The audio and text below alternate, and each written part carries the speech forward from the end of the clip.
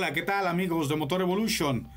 Eh, les traemos la nota. Ahora es Mitsubishi, quien admite haber alterado sus pruebas de rendimiento. Mitsubishi Motors admitió haber alterado de manera intencional pruebas sobre el rendimiento del combustible en 625 mil vehículos que vendió en Japón. Luego de la noticia ya se investiga si esta alteración pudiera afectar a otras unidades vendidas en Europa y Estados Unidos.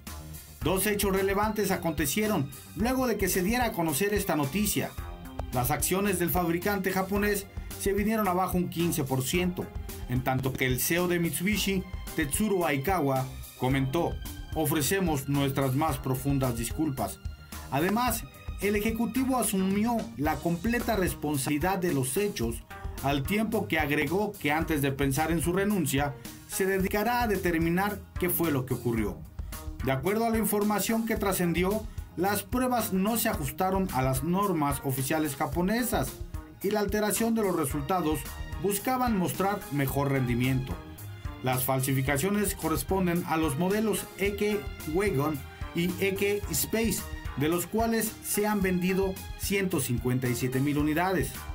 El Mitsubishi Gate también alcanza los modelos DZ y DZ maquilados para Nissan, que al hacer ellos sus propias pruebas, ansias de, 7, de un 7% en relación a la información proporcionada por Mitsubishi, lo que al final desembocó en el descubrimiento de la alteración.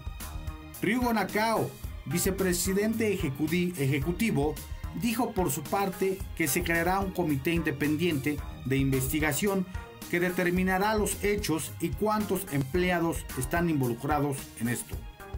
En este caso, al tristemente célebre Dieselgate, que desde el año pasado mantiene en jaque a Volkswagen, cuando se descubrió la falsificación de sus resultados relacionados a las emisiones.